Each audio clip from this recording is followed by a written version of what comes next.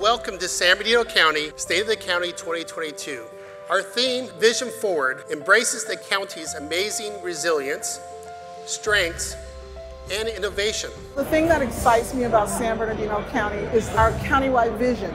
And in order to get to that vision, we have all these people who are surrounding us today from county, from cities, from community based organizations, and we have to collaborate to make that vision come to life.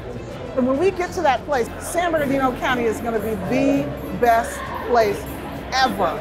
There's more opportunity for businesses to thrive and people to thrive in their communities so they can stay close to home, work close to home, and be with their families more. So. Our county departments won 82 NACO Achievement Awards and beating the previous all-time high of 60 awards won by the county in 2021.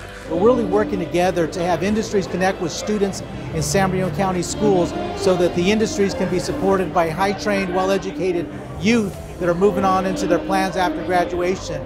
We're centrally located. We're outside the main traffic corridor for the LA Basin area. Great freeway infrastructure. That's what makes San Bernardino County great for me. Again, uh, transportation focus.